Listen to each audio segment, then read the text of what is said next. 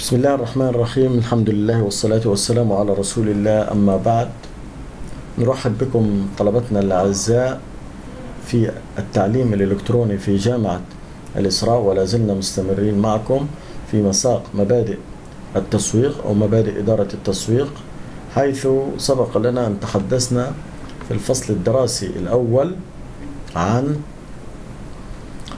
آه، التسويق ومفاهيمه ومضامينه وتم تعريف التسويق وأهميته للمجتمع. والحديث أيضا في اتجاهات ما هي واقع التسويق أو ما هو واقع التسويق في المجتمع الذي نعيش فيه إضافة إلى أن التسويق لا يقتصر على مؤسسة دونما الأخرى فالتسويق هو أسلوب حياة يخترق كافة المناحي ويمكن لنا أن نتحدث في هذا في هذا الجانب كيف يمكن للمؤسسات العامة والمؤسسات الخاصة وأي مؤسسة أن تستفيد من التسويق فيما يتعلق في اتجاهات معينة؟ كذلك تحدثنا عن البيئة التسويقية من حيث الحديث عن مضامين هذه البيئة وتقسيمات البيئة من حيث البيئة الكلية والبيئة الجزئية والبيئة الداخلية والبيئة الخارجية. لما لهذه البيئة من أهمية كبيرة في إطار العمل الذي يسمح لنا بالانطلاق نحو دراسة هذا الأمر. لذلك سنتحدث الآن في الفصل الدراسي الثالث وفي الجزء الأول من هذا الفصل سنتحدث عن السوق. يمكن كل الحديث في المحاضرات الماضية كان يتحدث عن المفهوم العام للتسويق. الآن سندخل في التقسيمات المتعلقة بهذا المساق ولعل السوق يعتبر مضمون مهم جدا من حيث دراسته من حيث تحديده من حيث تجزئته ولأهمية السوق وتجزئة هذا السوق سندخل في هذه التفاصيل بالمضامين المختلفة. ولذلك هذا الفصل سيعطينا أبعاد كالتالي. سنتعرف على مفهوم السوق كذلك ما هي أنواع الأسواق ذكر أساليب تحديد السوق شرح مفهوم تجزئة الأسواق لعل التجزئة آه، آه، سنتحدث فيها في بعض الأمثلة الواقعية التي نعيش فيها من خلال تقسيم السوق ولماذا نقسم السوق وما هي الفائدة من تقسيم هذا السوق. كذلك أهمية ذلك من الناحية التسويقية. عندما نقسم السوق هذا الأمر يعطينا توسع وانتشار. لا يجوز لا يجوز أن نبقى في إطار واحد إذا ما أردنا التمدد والانتشار. كذلك ما هي المعايير والأسس؟ المعتمدة فيما يتعلق في التسويق وتحديد الاستراتيجيات اختيار السوق المستهدفة. هذه المخرجات التعليمية التي سيتم الحديث فيها في هذا الإطار. يمكن آه، في مفهوم السوق نتحدث عن مفهوم له علاقة بإشباع الحاجات والرغبات. يعني أهم نقطة تسعى لها المنظمة بالشكل الأكبر إلى انتشار جيد. هذا الانتشار يكون بجانبه وصول سليم من أجل إشباع حاجات ورغبات الأشخاص وهذا الأمر يتطلب منا كيف يمكن لنا البحث عن الآليات التي نعمل من خلالها على إشباع الحاجات والرغبات وهذا تحدثنا فيه. هذا تحدثنا فيه. كذلك نتحدث على إشباع الحاجات والرغبات وليس أمر سهل لأنه يجب علينا أن نتعرف على أذواق المستهلكين على حاجات المستهلكين على رغبات المستهلكين. السؤال الذي يطرح نفسه في هذه الجزئية هل أذواق المستهلكين وحاجاتهم ورغباتهم يمكن السيطرة عليها إطلاقا؟ نقول أن أذواق المستهلكين هي أذواق متعددة متغيرة. آه، آه، آه، لذلك من المعاني الصعبة التي نقول في مفهوم التسويق وصعوبة العمل فيها أننا نعيش في بيئة متغيرة في بيئة ديناميكية في بيئة يكون فيها مجموعة من الأذواق المختلفة التي يجب علينا أن نكون على دراية كاملة بهذه الأذواق. ولذلك على رجال التسويق العمل على تلبية هذه الحاجات والرغبات من خلال آليات واستراتيجيات. طب كيف يمكن لنا أن نتحدث عن آليات واستراتيجيات؟ نتحدث على أن رغبات الزبائن كثيرة. رغبات الزبائن متعددة. طب كيف أنا بدي أحققها؟ طب كيف أنا بدي أحاول أن أنا أكون يعني متواجد فيها؟ هذا الأمر أمر ليس سهلا. هذا الأمر يحتاج إلى آليات يحتاج إلى استراتيجية واضحة من قبل المؤسسة. لعل أهم جزئية في هذا الموضوع أنه أنا عندي سوق كبير بدي أقسمه. يعني بالمفهوم حتى أستطيع أن أنا أسيطر على أمر معين يجب علي أن أنا أقسمه وبالتالي أنا أخذت شو؟ التموضع في هذا السوق. فصار عندي تميز في جزئية معينة صار عندي استراتيجية معينة أنا بدي أنتقل من خلالها فبالتالي صار عندي هذا السوق أنا بأستطيع أن أسيطر عليه. فصار عندي هذه الجزئية لها علاقة بتقسيم السوق إلى قطاعات مختلفة. هذه القطاعات أنا بأستطيع أن أنا إيش؟ أسيطر عليها إلى حد ما وأعرف إيش أذواق وإيش آه، أذواق المستهلكين وحاجاتهم وبالتالي بأبحث عنها.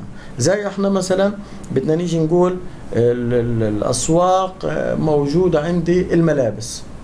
هذا سوق كبير سوق كبير جدا. طيب إذا أنا بدي أتميز في هذا السوق عشان يكون في إلي تواجد يجب علي أن أنا أخذ جزئية من هذه الملابس ملابس الأطفال. أوكي؟ إذا بديت أنا أقسم السوق لأنه سوق الملابس عنده أطفال نساء رجال. مثلا خلينا نقول هذه التقسيمات أخذنا الأطفال فقط لا أنا بدي أجي أقول الأطفال مثلا المواليد. إذا قسمنا. في ناس بيأخذوا الأطفال مثلا مش المواليد. باخد قاعد بقسم السوق. كل ما بقسم السوق بتلاقيني بأصل من الكبير إلى الصغير. فعرفت مين هم المنافسين تعوني مين هم الناس اللي ممكن أنا أشتغل في الإطار العمل الخاص فيه؟ فبالتالي وصلنا إلى هذه الجزئيات. لذلك نعرف هنا في مفهوم السوق ويجب علينا أن, أن نتضمن الأفكار الرئيسية في هذا السلايد. السوق له معاني مختلفة ونقترح ما يلي. هو مجموع القوى أو الشروط التي يتخذ البائعون والمشترون في ضوءها قرارات ينتج عنها انتقال السلع والخدمات. هذا سوق. هذا سوق. إذا أنا في عندي مكان بيذهبوا له الناس في بائع وفي مشتري. هذا هو السوق بالمفهوم اللي إحنا متعودين عليه. ولا لا؟ إذا هذه القضايا بتخليني أقول إنه والله أنا في عندي توجهات معينة. هذه التوجهات يجب علينا انه إحنا نبحث في الآليات الخاصة فيها. طيب الطلب الكلي للمشترين المحتملين لسلعة أو خدمه طلب كلي يعني أنا بحكي في سوق فبالتالي يجب علينا أن أنا أشتغل في هذا السوق في هذه الإطارات اللي بتسمح لي الانتقال في هذه الأمور. ولذلك لزاما علينا أن نعرف انه الطلب والقوى في مكان معين هو يشكل السوق. طيب مكان ومنطقة بروحوا لإله الناس. مكان ومنطقة بروحوا لإله الناس. يمكن لما نتحدث على مكان ومنطقة نتحدث على آه، مفهوم هذا المكان هو سوق يشكل فيما بيننا آه، مبيعات ومشتريات. طيب القيام بنشاط الأعمال الذي يوجه انسياب السلع والخدمات من الشركة المنتجة للمستهلك كل هذه الأمور كل هذه الأمور نقول عنها هي السوق ولذلك خلينا نركز على هذا الأمر. وضمن سياق التسويق يعرف كتلر السوق بأنه جميع المستهلكين جميع المستهلكين الذين يتشابهون في حاجاتهم ورغباتهم. زي ما حكينا سوق الملابس. تمام؟ سوق الملابس قسمناه لسوق الأطفال والنساء والرجال والأطفال قلنا مواليد.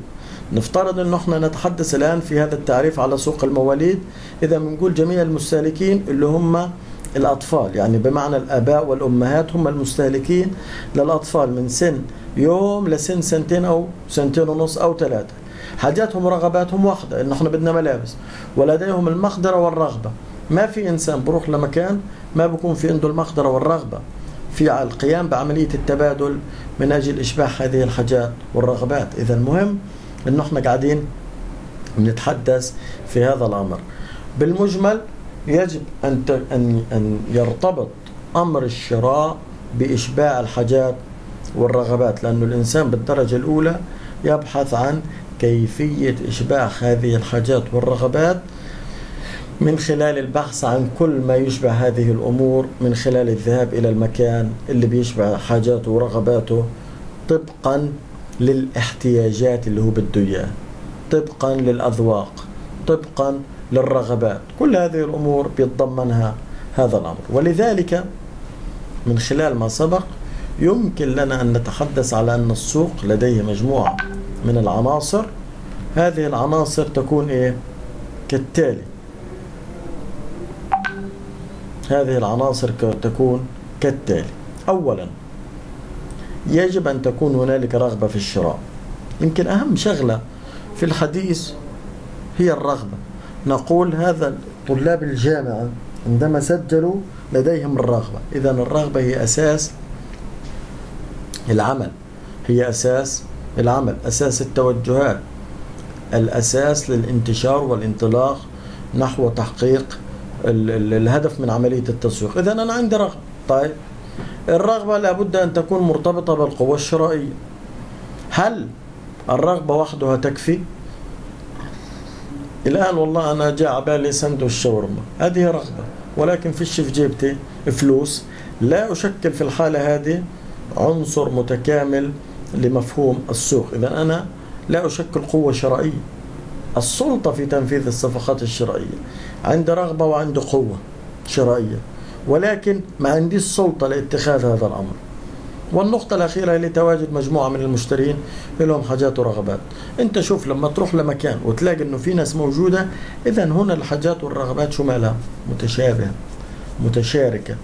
لا لا يمكن بأي حال من الأحوال أن إحنا نقول هدول بعاد عن بعضهم البعض.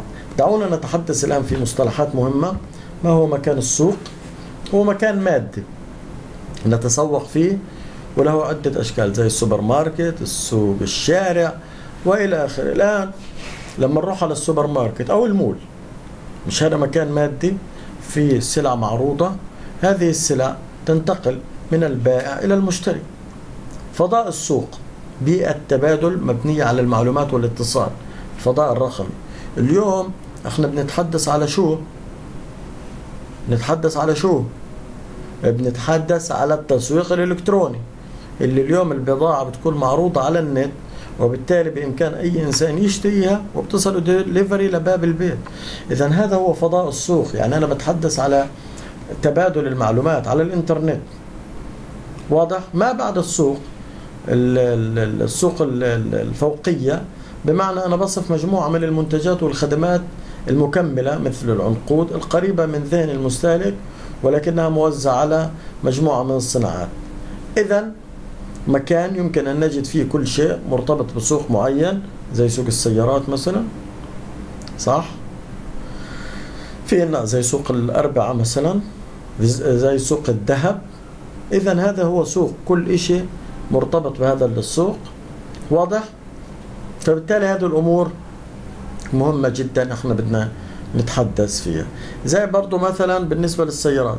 يتكون من المصنعين اللي بصنعوا السيارات تجار السيارات الجديدة والمستعمل شركات التمويل والتأمين والصيانة محلات السيارات والميكانيكي المواقع السيارات على الإنترنت. واضح؟ هذه كلها يعني لاحظوا إن كل الأمور اللي إحنا تحدثنا فيها تحدثنا فيها في إطار واحد. شو هذا الإطار؟ سوق السيارات. واضح؟ اذا كل ما له علاقة في هذا السوق هو يكون متكامل ولذلك سمي العنقود مترابطة مع بعضها البعض في هذا الإطار. طيب. إذا نستكمل معكم الطلبة الأعزاء.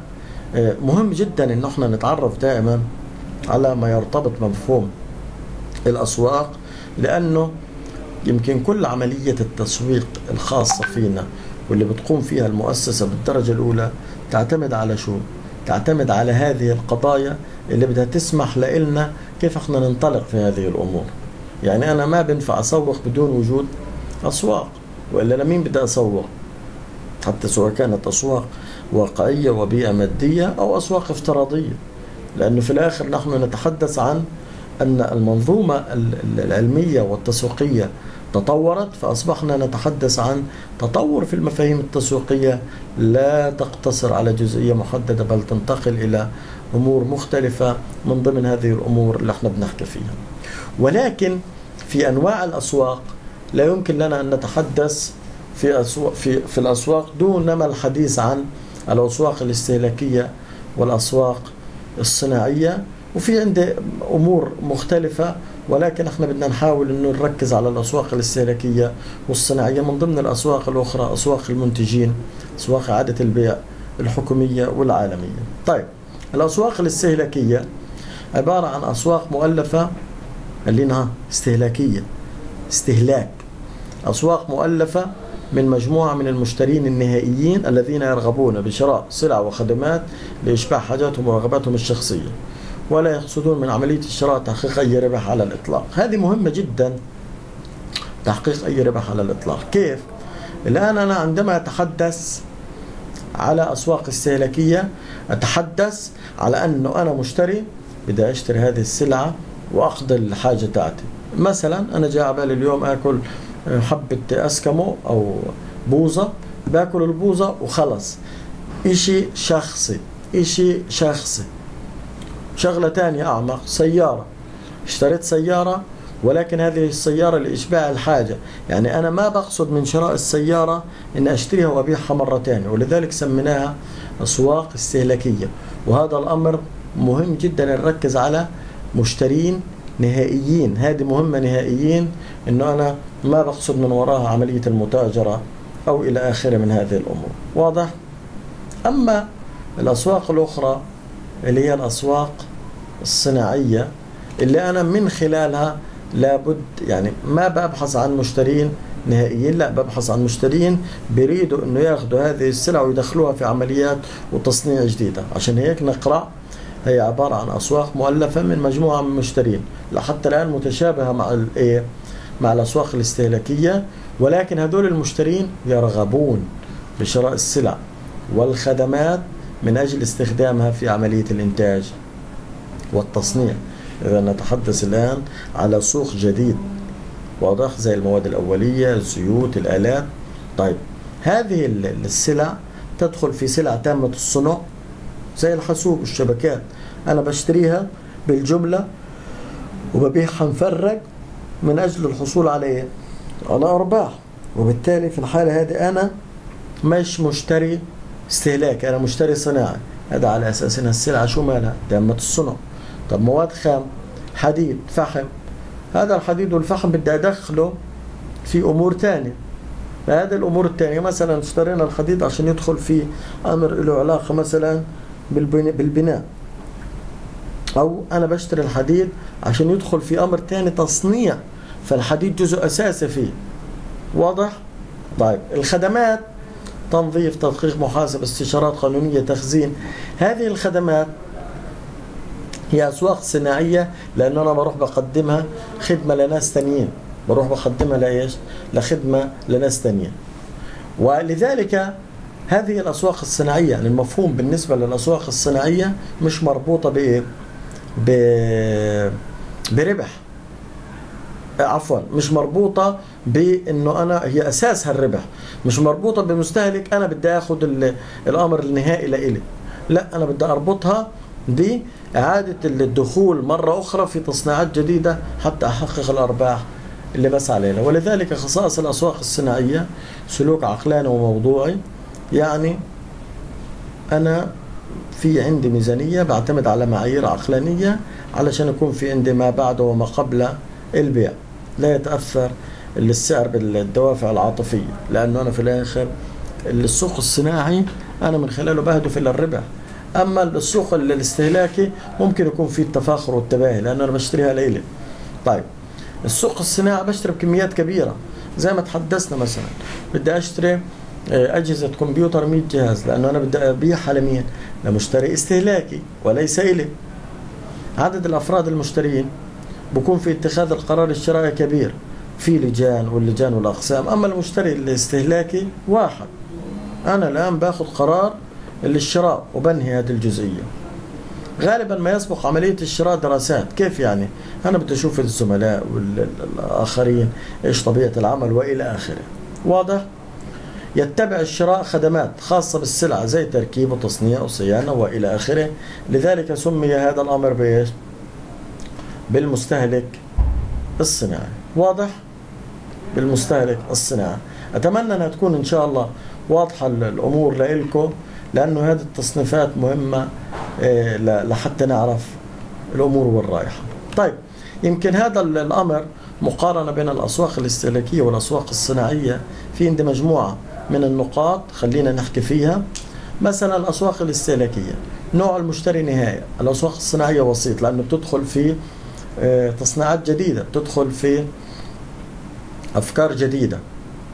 الغرض من الأسواق الاستهلاكية أنه أنا بدي أستهلك وألبي رغبة شخصية أما الأسواق الصناعية أنا بأنتج منتج آخر أو خدمة أخرى من أجل إنتاج آه، منتجات جديدة واضح إيش بحكي؟ كميات الأسواق الاستهلاكية صغيرة زي ما حكينا أنا بشتري جهاز لابتوب واحد لإلي أما الأسواق الصناعية بشتري أكثر من لابتوب ليش؟ لأن أنا بدي أدخله في تصنيفات جديدة وأمور جديدة وهذه الأمور إحنا بدنا إيش نركز عليها. المدة والمدى. المدى قصير الأجل. يعني أنا باخذ القرار قصير الأجل. أما فيما يتعلق بال الأسواق الصناعية تعتبر شو مالها؟ طويلة الأجل لأنه بتاخذ شغل. ولذلك سلوك الشراء في الأسواق الاستهلاكية في تفاخر في تباهي. عكسه تماما الأسواق الصناعية عقلاني في عندي ميزانية معينة بتحرك فيها. عدد الأفراد المشترين في الأسواق الاستهلاكية قليل. ممكن أنا ممكن العائلة ممكن الأصدقاء فقط. أما الأسواق الصناعية لا كبير لأنه في عندي لجان في عندي أقسام. هذه مهمة جدا المقارنة بتوضح لي كل النقاط اللي إحنا تحدثنا فيها. قبل الشراء يتأثر المستهلك في السوق الاستهلاكي باللي بيقرأوا واللي بيشاهدوا في الإعلانات. ولذلك نحن نركز في عملية التسويق على مين؟ على الشخص في الأسواق الاستهلاكية. بنحط له التفاصيل اللي إلى بندلع المستهلك كيف ممكن إحنا نعزز قرار الشراء اللي عنده. أما في السوق الصناعي إطلاقا هو بيجيب شغلة بيدرسها بحط اختبارات آليات بيتم العمل على أساسها. خدمات بعد البيع خدمات بعد البيع. قد لا يستلزم مثل تلك الخدمات. ليش؟ لأنه أنا آه، يعني اشتريت لإلي اللابتوب فبالتالي أنا مش مش كثير قد ها. ممكن أنا أستخدم. يعني زي في بعض الأحيان في الأسواق الاستهلاكية بقول لك خدمة ما بعد البيع في بعض الأماكن بس مش دائما أما في الأسواق الصناعية بصير في عندي خدمات خاصة بالسلعة زي التركيب والصيانة فبالتالي تكون عملية المتابعة هذه الجزئية عملية شمالها مستمرة. ولذلك يجب علينا أن نحن نركز على هذه الأمور قدر الإمكان علشان نحكي في هذه التفاصيل. طبعا هذه النقاط اللي حبينا نشاركها في نشاركها نشارككم فيها في خلال هذا اللقاء يمكن كانت للتركيز على الأمور التي لها علاقة بالسوق وأهمية هذا السوق من خلال مجموعة من المعطيات وكذلك الحديث عن العناصر الرئيسية للسوق من حيث الرغبة والقوة الشرائية والسلطة ولا بد أن يكون هنالك مجموعة من البائعين. كذلك تحدثنا عن أنواع الأسواق والمقارنة ما بين الأسواق الاستهلاكية والأسواق الصناعية من خلال هذه المقارنة اللي وضحت كل الأمور. إن شاء الله طبعا آه، في خلال المحاضرة القادمة سنتحدث عن التصنيفات الأخرى لأنواع الأسواق من حيث أسواق المنتجين أسواق إعادة البيع الأسواق الحكومية والأسواق العالمية في إطار التغيير الكبير اللي بيعيشه دائما مفهوم التسويق وما هي تبعات التكنولوجيا وتأثيراتها على الأمر الذي له علاقة بهذا التسويق. أنا يعني في في نهاية هذا اللقاء بتمنى إن شاء الله وتكون كل الأمور وضحت لكم آه، طبعا بكل تأكيد أي استفسار أو أي متابعة إحنا موجودين معكم من خلال المتابعة عبر البوابة الإلكترونية وكذلك عبر محاضرات الزوم اللي إحنا بنكون دائما متواصلين معكم بتمنى لكم إن شاء الله التوفيق. آه، حتى ذلك الحين تقبلوا تحياتي ونراكم إن شاء الله في محاضرات أخرى. تحياتي والسلام عليكم ورحمة الله وبركاته.